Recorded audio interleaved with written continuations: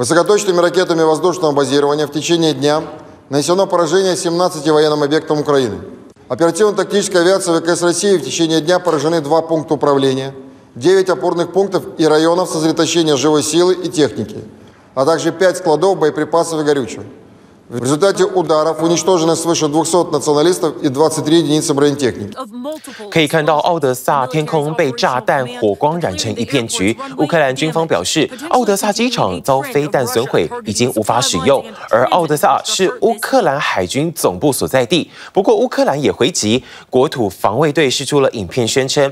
乌尔乌军在哈尔科夫伊久姆成功袭击一列俄军战车车队。另外，因为俄乌战争让瑞典、芬兰加入北约的可能性大增，俄罗斯威胁增加，俄国当然有动作。瑞典国防部证实，礼拜五一架俄军战机侵犯了他们的领空。请支持 TVBS 国际 Plus 全新频道，让您扩大视野，掌握趋势，接轨全世界。恳请订阅，开启小铃铛。